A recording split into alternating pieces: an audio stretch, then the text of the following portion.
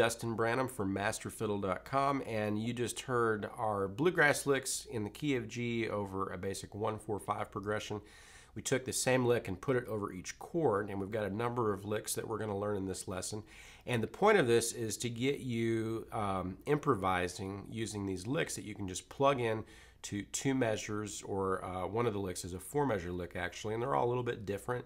Just gives you some vocabulary that you can use when you're playing bluegrass, and you can either take these and put them in a break where you're playing the melody and you want to get away from the melody for maybe two measures, or let's say you don't know the melody, maybe you just know part of it and you need some filler.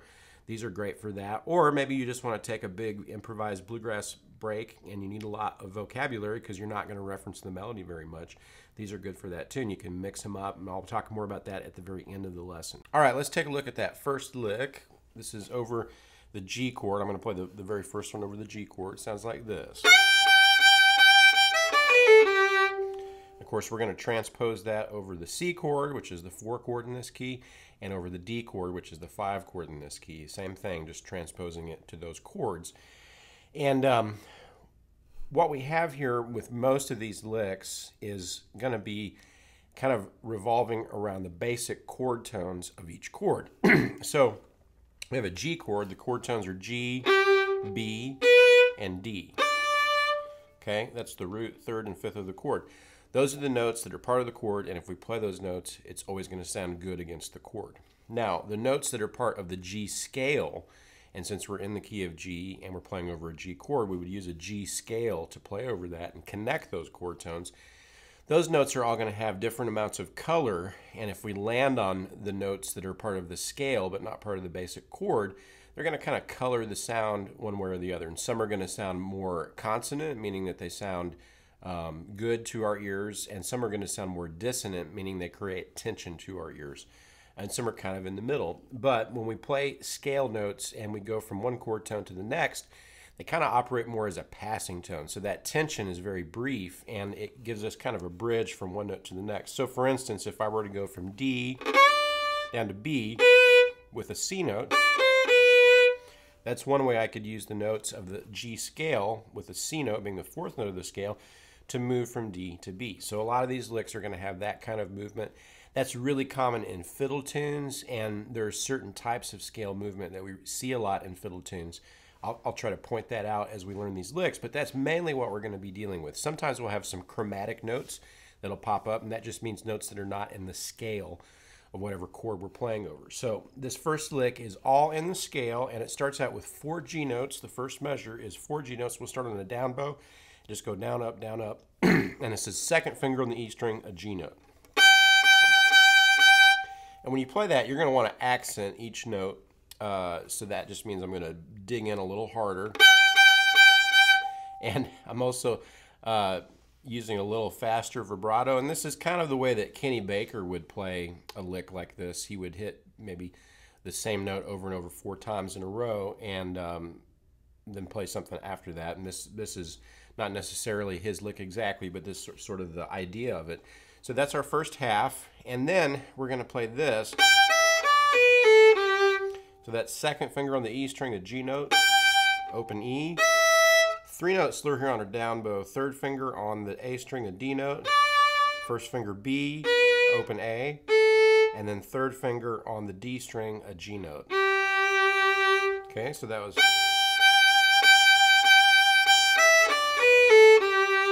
And that covers two measures all of these licks are going to cover two measures. So anytime you have a song or tune that has two measures of G, you can plug that lick in right over those two measures. And there's a ton of songs in the key of G that will do that. Uh, or if it's a song in the key of D, the G chord would be the four chord. If it's a song in the key of C, the G chord would be the five chord. And this lick would work over four or five chords as well. It still can work, it doesn't really matter. It's not too specific that it can only work over the one chord. So that's our first lick, and we're going to take the same thing and play it over the C chord, and the fingerings are exactly the same. Bowings are the same too. We just move it over to the A string now and start on the A string with our second finger on the A string on that C note. So everything is the same.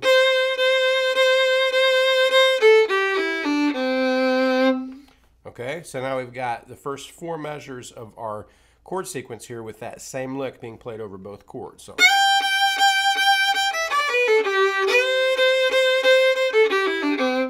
Now, I wouldn't necessarily do that, but it's a good way to practice that lick. And you could even move it into other keys besides G and other chords besides just G, C, and D and play that anywhere you want to. And this fingering would work as a movable fingering if you don't play any open strings. So use your fourth finger for that E note um, on, on the G lick.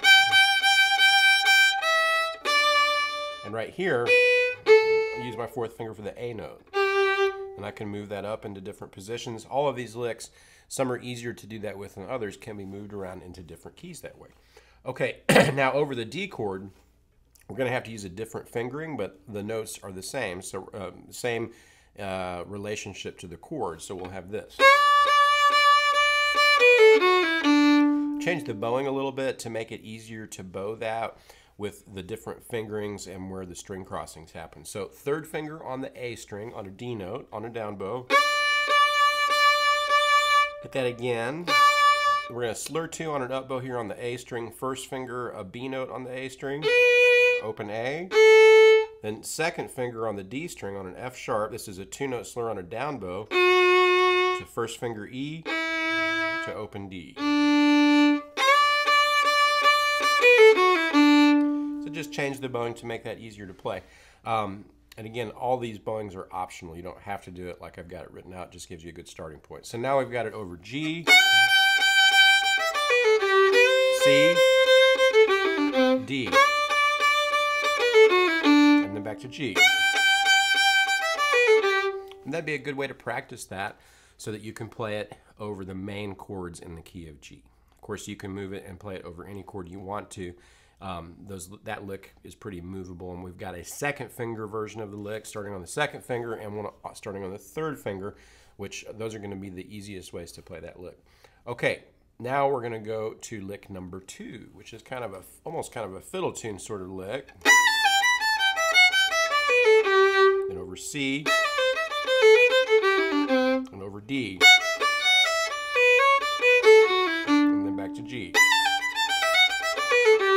So two fingerings for this as well. Our fingering for G is going to work over C, and we'll have to learn a new one for D. Um, we're going to start with a three-note slur on a down bow on the E string. So that was four, three, two, B, A, G, all down. Then uh, fourth finger B on the E string, third finger A, second finger G, open E, first finger F sharp, second finger G, open E, three note slur down here on the A string, third finger A string, a D note, first finger B, open A, and then third finger on the D string on an up bow here, uh, this is a G note. So.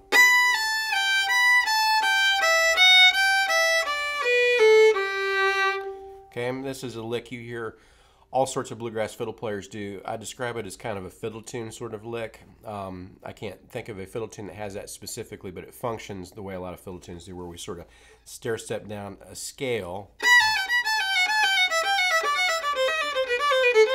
It's a scale pattern, descending scale pattern there. We're, we're starting out with that and then kind of getting away from it. So it's all just notes in the G scale, and uh, we keep revolving around those basic chord tones of G, B, and D. So that's why this works over a G chord.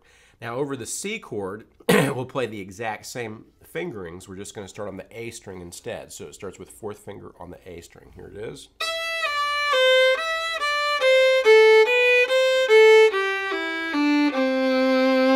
So same thing, we just moved it over to a lower string. And then over the D chord, we'll have to change the fingering.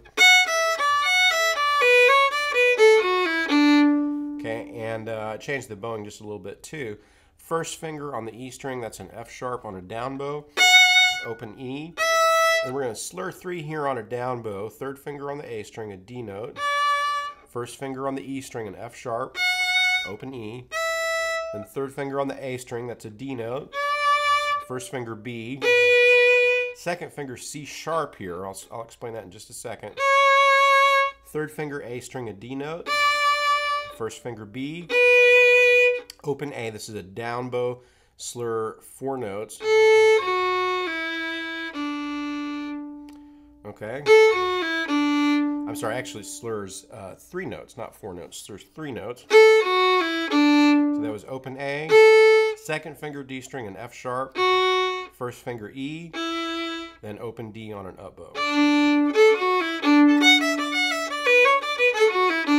Now, why the C sharp? Well, to keep that pattern the same, so that the, the distance between the notes is the same as it was over G, we have to have that C sharp because in the um, G chord lick, that note is an F sharp and there's a half step there. If I change that to C, that still works and that actually is a better choice against that D chord because the C note would be the seventh.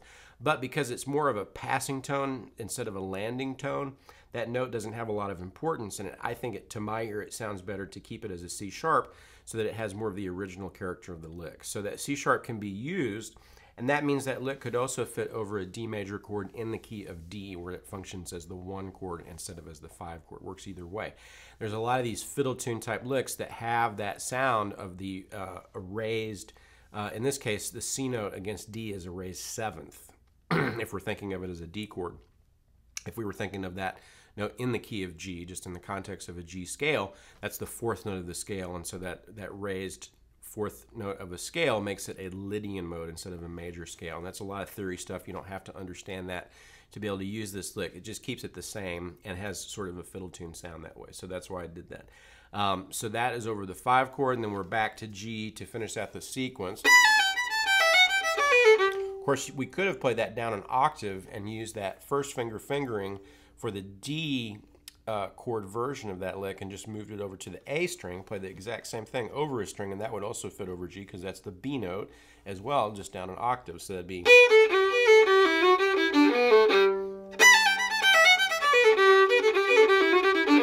So there I just strung the two together in, in a different octave. Um, so always good to learn the lick in as many different octaves as you can, even if it's in the same key. All right, so that's lick number two. Let's take a look at look at let's take a look at lick number three now. So we're gonna have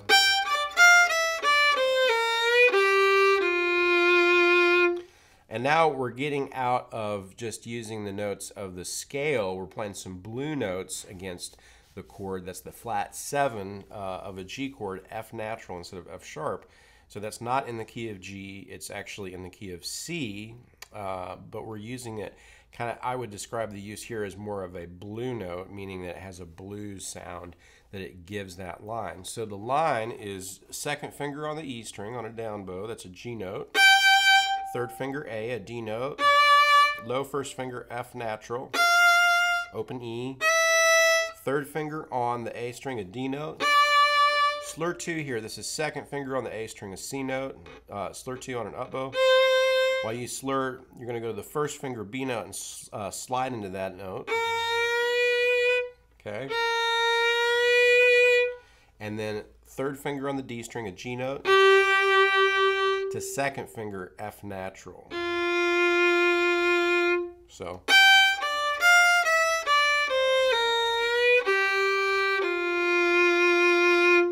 Okay, just like all the others, this fits over two measures. So if you have a two measure um, spot to fill uh, behind a vocalist or in your solo, you're playing the melody, whatever, this would be a great lick to insert.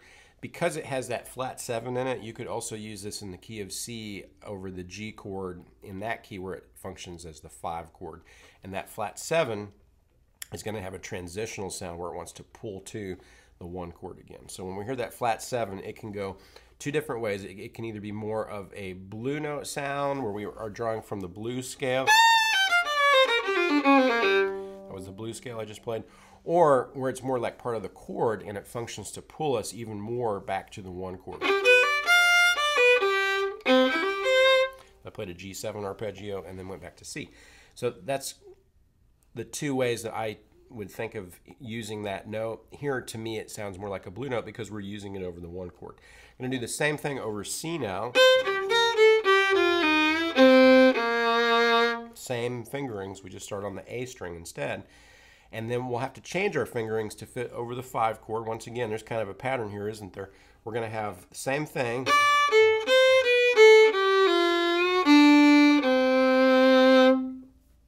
But different fingerings. So we start with the third finger on the A string, a D note.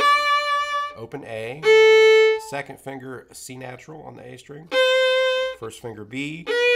Open A slur 2 on an up bow here on the D string. This is third finger G, slur into an F sharp. Uh, I'm slide into an F sharp now while you're on that slur. Open D, and then third finger on the G string on a C, nat, uh, C natural note.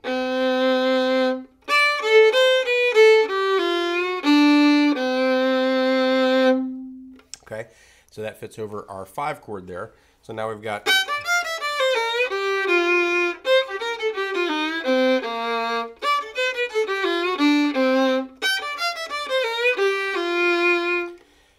Get our sequence finished out.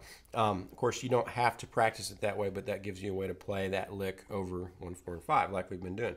Okay, now we're going to get a little more chromatic here, and we're going to have this lick that uses more of the blues scale.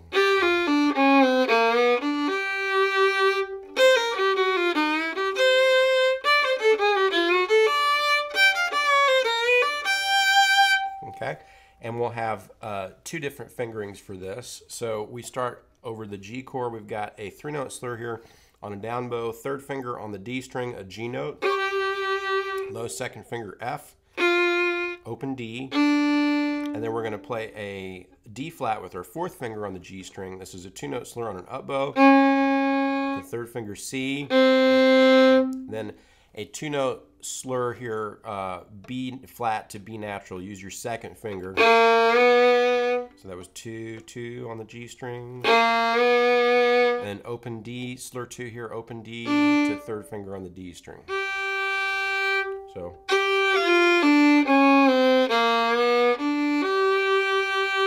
Okay, the other uh, blue notes that we have added are the flat five, that D flat, and then the flat three, which is B flat.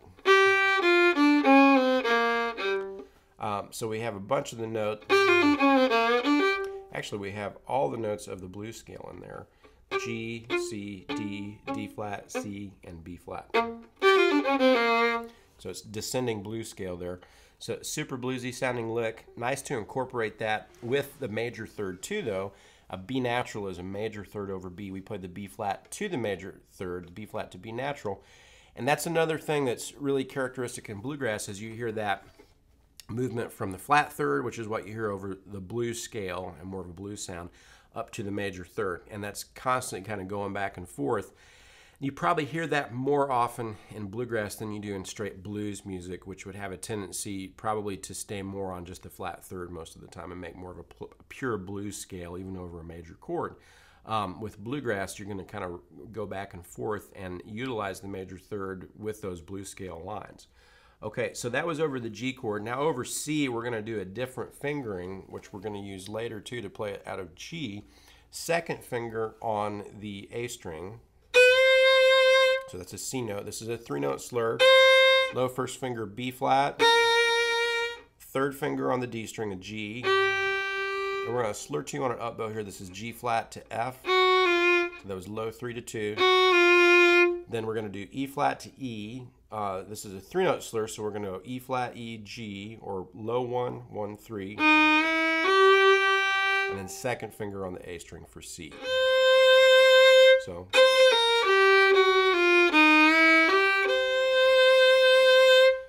All right.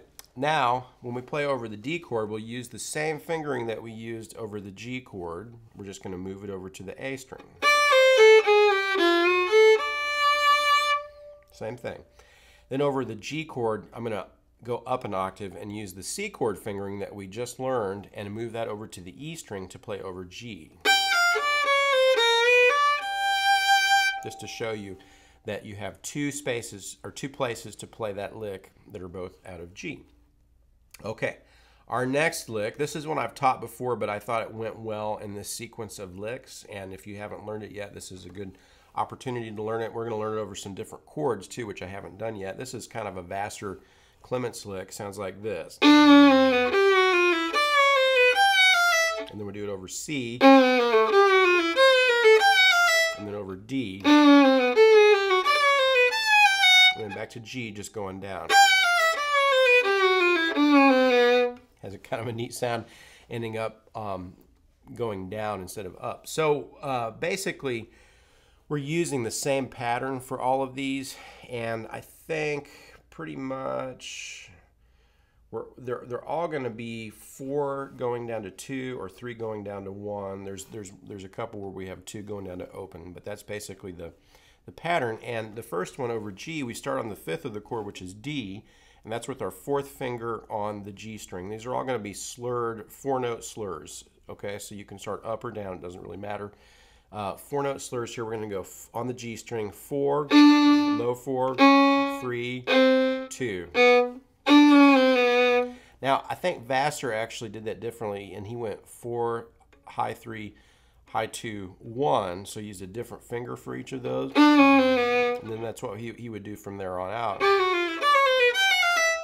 That works too.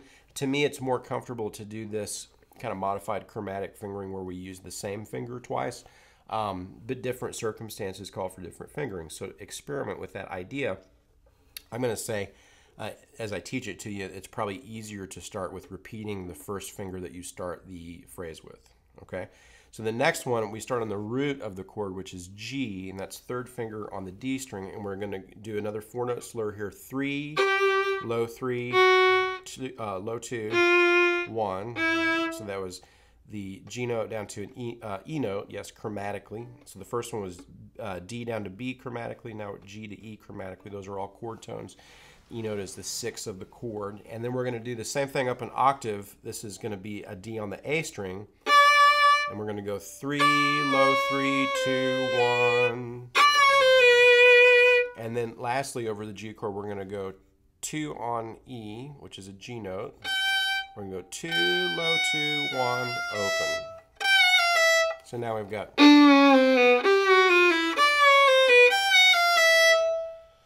Okay, so that was over the G chord. Now, when we start this over the C chord, we're going to go to our lowest note that would maintain this pattern.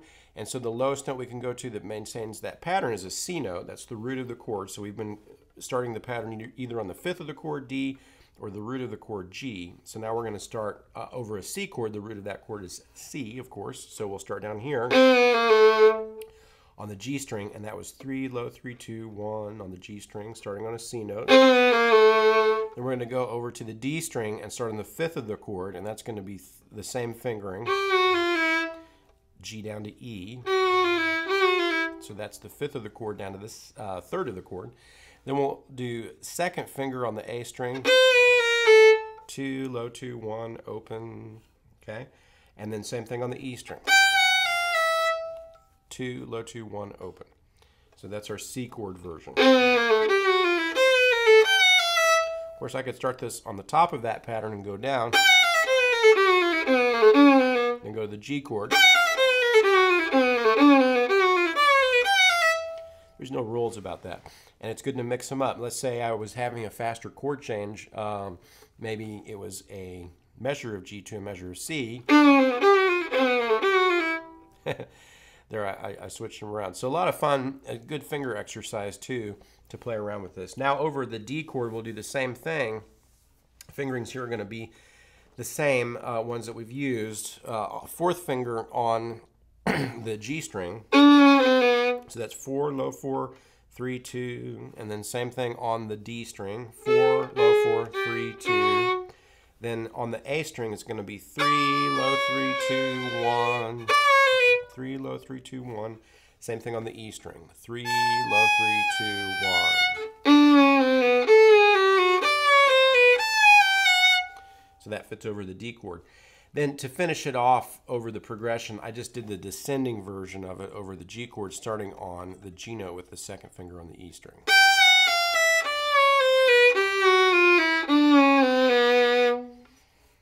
All right, so there's our Vassar lick, and we're going to have three more licks. This is our last lick that doesn't involve double stops now. So this is one that um, is kind of a bluesy fiddle lick that, that would fit a lot of different tunes. Um,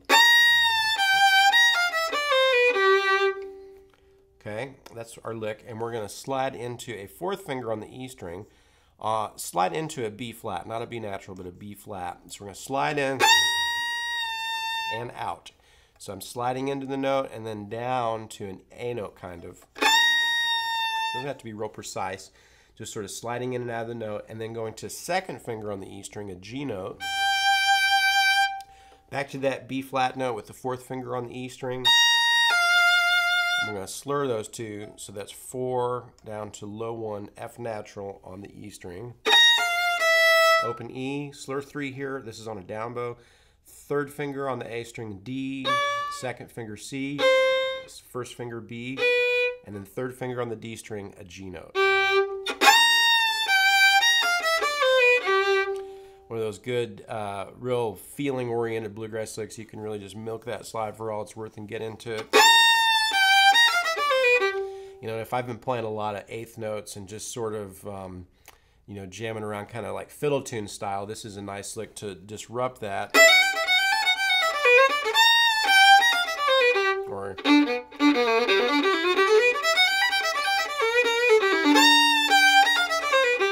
you know, doing something like that where I'm just playing a whole lot of notes that, um, you know, they might go with the chord really well, and nothing wrong with that, but they don't really say a whole lot because I'm just sort of running up notes uh, up and down the scale and playing arpeggios. You know, if, if you're in that kind of improvisation for a long time, this is a good lick to disrupt that. Um, when we play it over the C chord, it'll have the same fingerings, just starting on the A string.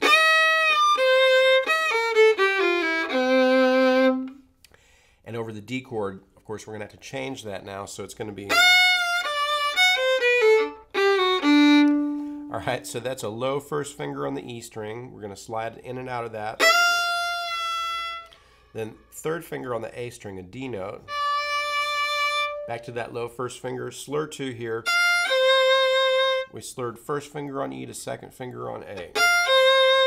Slur two on an up bow, first finger on the A string, a B note open A, third finger on the D string, a G note, second finger F sharp, then open D.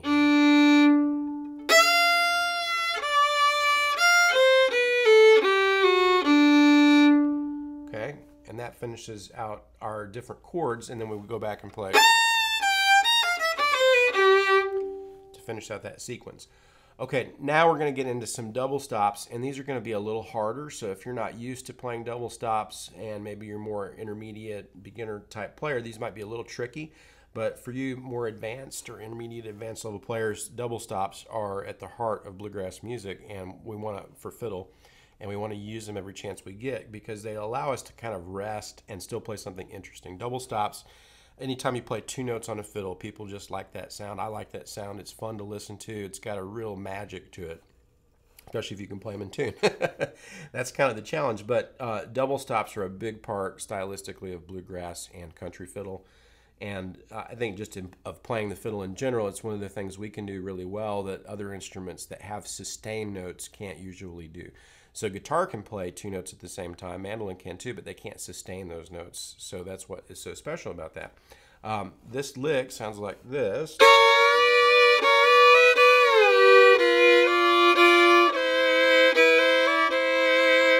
It actually fits over two chords. We're going to cover the G chord and the C chord with this lick. So this is actually a four measure lick. We've deviated from what I said we were going to do. We're going to have one that covers four measures going from G to C, and then four measures going from D back to G. We use the same lick, same fingering. So once we learn it here, we'll just move it over to the A and E strings. We're going to be up in third position, and we're going to slide into our third finger on the D string on a B note, and our first finger on the A string on a D note. Now on an up bow, we're going to slur all this. I just did a little half step shift. The, those fingers, I moved them down a half step. So that's a D flat and a B flat.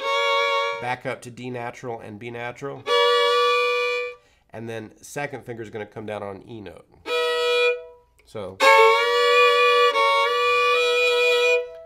Okay, and then I'm going to um,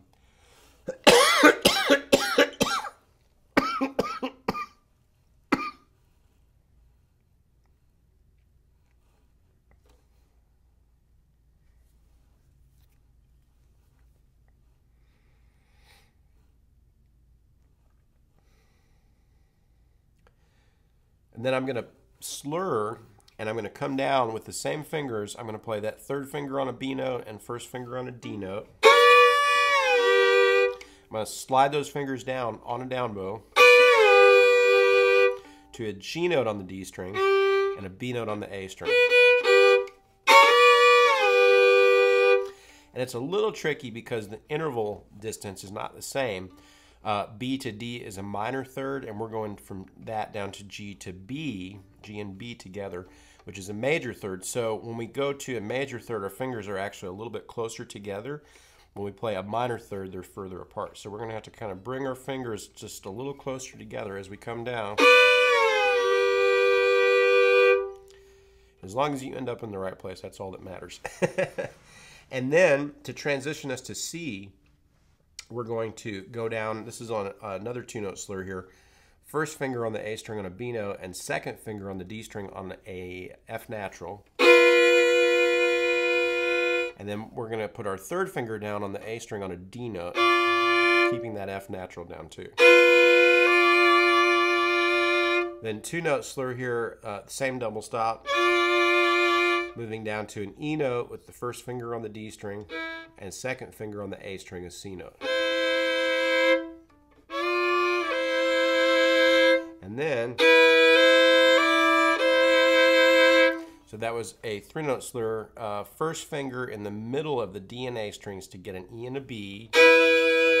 Back to second finger on C on the A string. And then third finger on D. And then back to second finger on C. The E note on the D string stayed down that whole time. So here's the whole lick.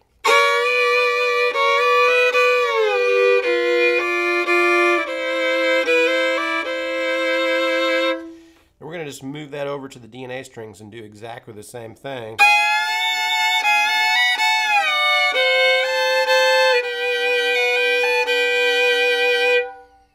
Same thing. So easy enough. And then our last lick, this is a very classic bluegrass double stop lick. I don't know who did it first. I would guess either Benny Martin or Scotty Stoneman. Um, they both did licks like this. They both had similar styles. I, I think I'm going to say probably Benny Martin because I think Benny Martin was recorded first and was probably more widely recognized first before Scotty Stoneman just from what I have researched um, and the fact that Benny Martin played with Flatt and Scruggs, which was a huge national act, not right away, but you know they reached prominence pretty quickly and, and been playing with Bill Monroe. And then Benny Martin also became a little bit of a more of a country star actually as a singer, uh, just briefly in the '50s. Um, Scotty Stoneman was really big too, but I think his, from what I can tell, his fame was just a little bit after that, just slightly. I think they were probably around the same age. Uh, and Scotty Stoneman may have even been older. I'm not. I'm not really sure, but I think Benny Martin probably came first, and and maybe is who this lick came from. But let's hear the lick. Sounds like this.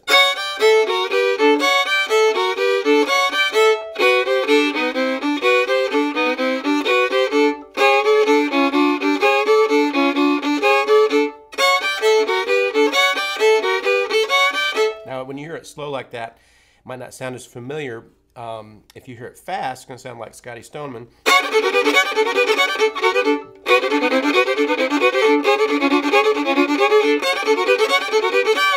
Of course, lots of variations on that, but that's the basic lick.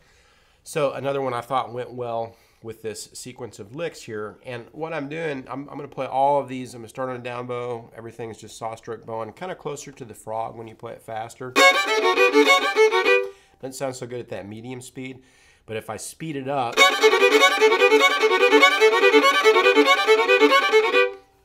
that's really where that lick needs to live. it's a fast lick, and it's great at filling up space when you can't think of anything else to do. It's very exciting.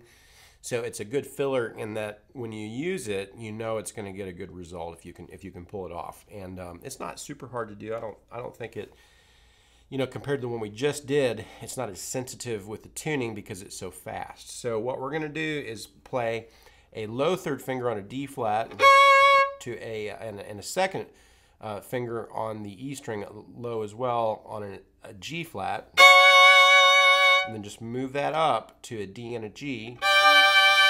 Then play open E and open A. This is your kind of ghosted, so they don't have to be played really loud. I'm not going like that. Just real, real ghosted. And then we're going to go over to the uh, D and A strings and do kind of the same idea, but with a different double stop. These are notes that are part of the G chord still. This is third finger on the D string on a G note, uh, actually G flat, and first finger on the A string on a B flat. We're going to shift that up as well to G and B natural. So after you do that, you'll play a ghosted open D and open A. And ghosted just means that I'm not hitting that note particularly hard. Um, it's really just there kind of as a rhythmic placekeeper so my bow can keep moving. So and when I play it at the faster tempo,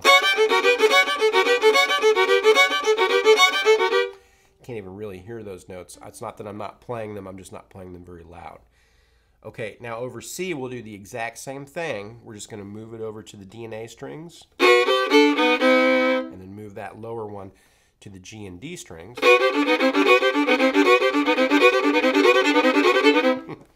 and then when we play over D, we're going to use the same fingering but up in second position. So pretend like you're in C again. Just moving that up. Um, basically, a um, our starting point is up a half step from G and C. So we're starting on. You could think of that as A flat and D flat, or G sharp and C sharp, and then raise it up a half step, and now we're over that D and A note that actually fit with that chord. A lot easier to play it with that fingering up in second position.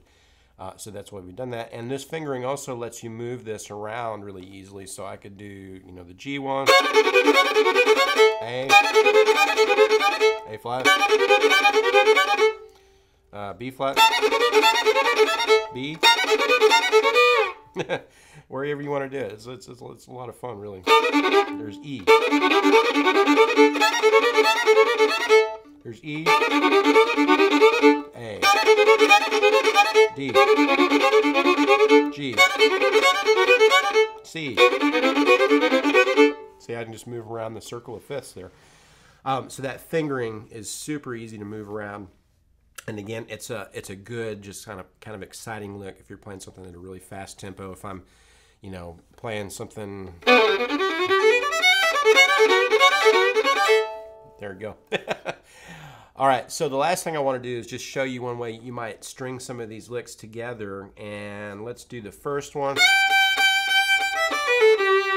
And then I'm going to go to the second one for the C chord. And I'll do that last double stop lick. So here we go uh, over that same progression. Um, here's the G lick. C lick number two. I'll do that again.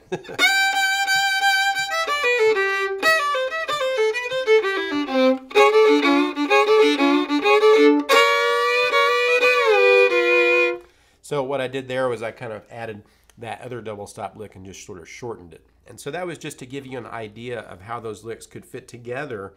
If I take lick number one over a G chord and lick number two over a C chord and then the very last one that we did over the D chord and just sort of mix and match, you can almost come up with a solo just with these licks.